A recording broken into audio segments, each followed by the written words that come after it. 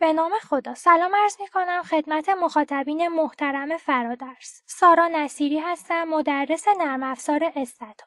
می‌خوام یک سری توضیحات مقدماتی درباره نرم افزار استتا خدمت شما ارائه بدم.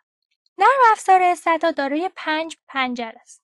پنجره که شما می‌بینید اسمش پنجره ریزالت یا پنجره نتایجه نتایج مدل ها و کارهایی که شما انجامی در این پنجره به نمایش داده میشه. پنجره سمت چپ پنجره history یا command هاست یعنی شما هر دستوری رو در box command ها وارد می‌کنید در این پنجره به نمایش داده میشه. در سمت راست شما پنجره variables ها رو می‌بینید. یعنی پنجره متغیرها. متغیرهای مورد استفادهتون رو اینجا می‌تونید مشاهده کنید. نرم افزار Stata مثل سایر نرم افزارهای دیگه چند تا سربرگ هم داره. سربرگ فایل کارهای save رو انجام میده یا import و export رو انجام میده. مثلا شما می‌خواین یک سری فایل رو از داخل نرم افزارهای دیگه وارد نرم افزار Stata کنید. از طریق import این کار رو می‌تونید انجام بدید. مثلا از Excel یا SPSS اگر بخواید داده ای رو وارد نرم افزار Stata کنید از این قسمت استفاده می‌کنید. export هم اگر بخواید داده ای رو از نرم افزار Stata وارد نرم افزارهای دیگه ای کنید از قسمت export استفاده می‌کنید. سیو و سیو ازم که مثل سایر نرم افزار هست edit یه سری کارهای copy paste رو انجام میده. data هم که کار روی داده ها رو انجام میده تغییرات روی داده هاست graphics هم که نمودارها و انواع تحلیل های نموداریه. statistics قسمت های مختلفی داره و مدل های مختلف اینجا تعبیه شده. مثل مثلا time series ها ARCH GARCH انواع مدل های ARIMA. اینجا در سربرگ statistic قرار داره. user هم که برای فونت و edit و اینجور چیزاست حالا اینجا قسمتی داره به اسم سربرگ window. سربرگ window مثلا این کار رو انجام میده که شما اگر اتفاقا یا به صورت ارادی یک سری از این پنجره ها رو بستید می‌تونید از سربرگ window استفاده کنید و اون پنجره ها رو باز کنید. مثلا من پنجره history رو میبندم. حالا اگر وارد window بشم می‌تونم از طریق کلیک کردن روی history یا نگه داشتن control plus پنجره history رو برگردونم به نرم افزارم.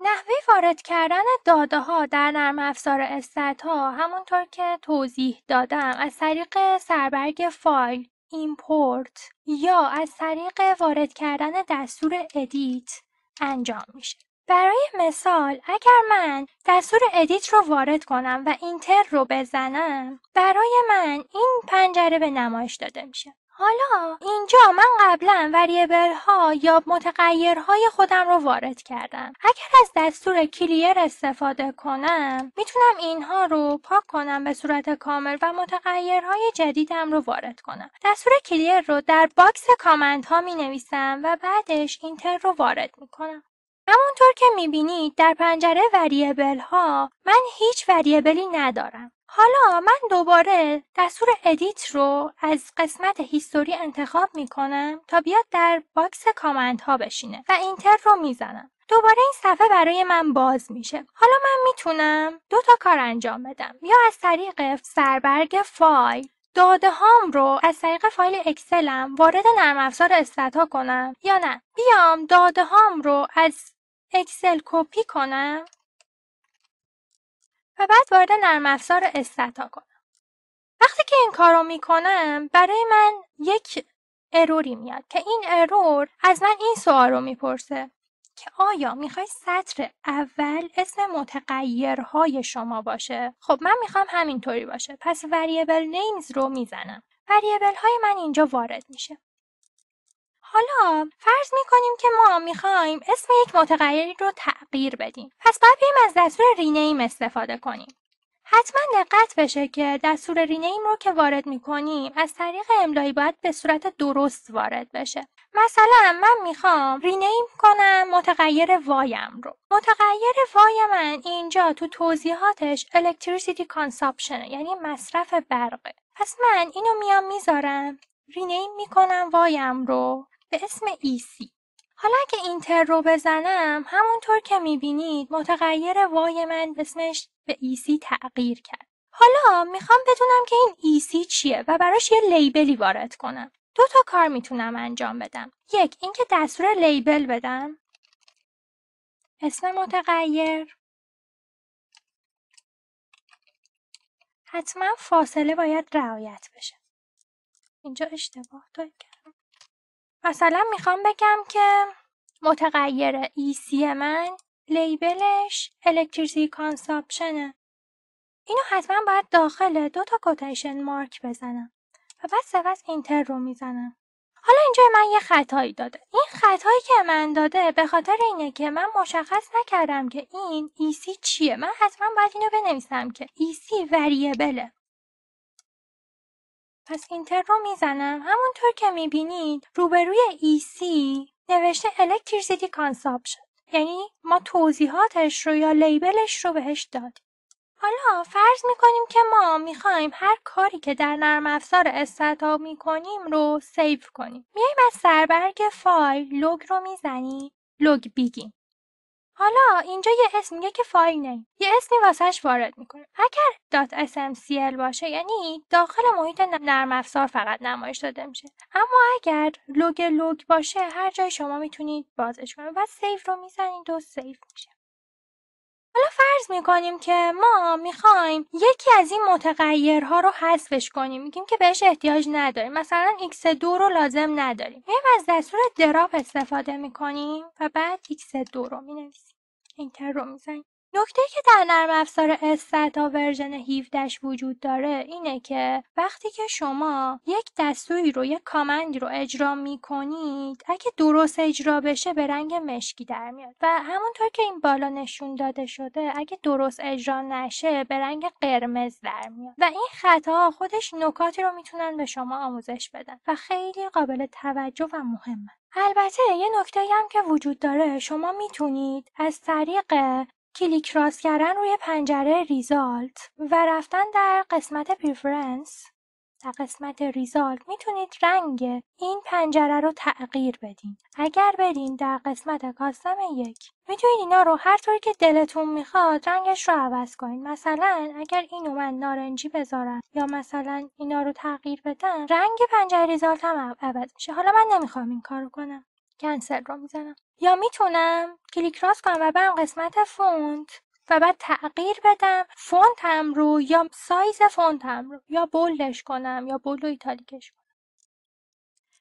حالا من می‌خوام یه متغیر جدید در نرم افزار Stata وارد کنم. برای وارد کردن یک متغیر جدید یا بهتر بگم ساختن یک متغیر جدید از دستور gen استفاده می‌کنیم. میگیم generate کن مثلا u رو مساوی با y مثلا. به علاوه ده. و بعد Enter رو می‌زنیم. اگر الان من وارد edit بشم می‌بینیم که u رو واسه من ساخته. یا مثلا الان اینجا که من الان با توجه به اینکه من اینجا y رو نداشتم اگر من دوباره edit رو بیارم شما می‌بینید که u رو از رو چی ساخته؟ از روی year ساخته واسمون. یعنی چون من y رو نداشتم y رو به عنوان year واسه من گرفته. یا مثلا generate می‌کنم وی رو مساوی با x به علاوه سی و بعد Enter می‌کنم. و دوباره اگر edit رو وارد کنم می‌بینیم که وی رو ساخته برامون. حالا اگه من بخوام یک متغیر زمان بسازم میام از دستور generate باز استفاده می‌کنم. میگم generate کن time م رو. مثلا می‌خوام فصلی باشه. اگه بخوام فصلی باشه tq می‌زنم و بعد داخل پرانتز مثلا سال 1900 فصل اول. پرانتز رو میبندم. به علاوه underline n منهای یک. و بعد Enter رو می‌زنم. time رو واسه من ساخت. و بعدش میام فرمت می‌کنم. q درصدم رو. رو حتما باید انجام بدم. تا سری زمانی من درست شناخته بشه. و بعد tset می‌کنم. time رو. همونطور که می‌بینید میگه که variable time واسه شما ساخته شده. از سال 1900 فصل اول تا سال 1912 فصل دوم. دلتامون یا مثلا میگه تغییرات زمانمون. یک فصله یعنی یه فصل پس رفته جلو. اگر بخوام ماهانه باشه به جای q، m می‌ذارم. و اگر بخوام هفتگی باشه به جای کیو دابلیو می‌ذارم. برای رسم نمودار حتما ما باید tsset time رو بزنیم و بعد می‌تونیم هم بریم از قسمت graphics از طریق اینها بیایم نمودارم رو رسم کنیم یا می‌تونیم یا کار دیگه کنیم که راحت تره. بیایم دستور twoway مثلا twoway line EC با x یک. بعد اینتر رو می‌زنیم.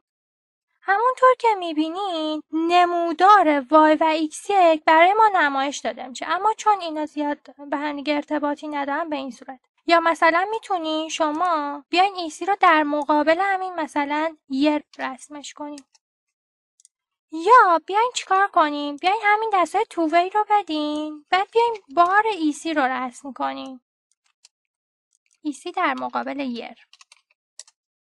ببینید. اینجا به من گفتش که فقط با یه دونه متغیر نمیشه بار رو رسم کرد. چرا؟ چون که من به اشتباه فرشتم یه رو حذف کردم. خود همین command ه به من داره چی نشون میده؟ نشون میده که حتما من باید EC رو وقتی می‌خوام بارش رو رسم کنم باید با زمان مثلا باید رسم بشه. یا اگه بخوام چگالی یک متغیر رو بخوام رسم کنم باز از دستای تووی استفاده می‌کنم. مثلا برای همین ایسی خب؟ اما اینجا باید از کیدنسیتی باید برم. یک نکته هم که اینجا من باید اضافه کنم اینه که نرم افزار استتا به حروف بزرگ و کوچیک خیلی حساسه. ما باید حتما حواسمون باشه که موقع وارد کردن دستورا دقیقا به همین صورتی که هست وارد کنیم وگرنه خطا میده بهمون. مثلا kdensity EC رو. اگر هم من بخوام lag یک متغیری رو یا وقفه یک متغیر رو تو نرم افزار Stata بسازم یا بخوام مثلا لوگاریتمش رو بسازم باز از دستور generate استفاده می‌کنم. مثلا generate می‌کنم x4 رو حتما باید به این نکته توجه کنیم که اسم هایی که تو متغیر هامون هست برای ساختن متغیر جدید نمی‌تونیم از اون استفاده کنیم. باید یک اسم جدیدی واسهشون داشته باشیم. generate می‌کنم x4 رو مساوی با لوگاریتم مثلا ایسی داخل پرانتز ایسی. و بعد اینتر رو می‌زنم. و اگه دوباره وارد edit بشم من می‌بینم که x چهارم رو واسه من ساخته. یعنی اومده لوگاریتم EC رو گرفته و واسه من ساختتش. یا اگر بخوام lag ش رو مثلا بسازم میام مثلا generate می‌کنم D EC رو مثلا نویسم D underline EC که خودم یادم باشه که lag ش رو دارم می‌سازم. بعد مثلا lag مرتبه اول. D dot مثلا EC. و بعد اینتر رو می‌زنم. ببین نوشته یکی از اون داده ها حذف شده. چرا؟ چون lag مرتبه اول رو دارم میگم. حالا که بخوام lag مرتبه دوم بنویسم اینجا می نویسم دو. کنار D یه دونه دو می‌ذارم. بعد اینتر رو می‌زنم. دو تاش حذف شده.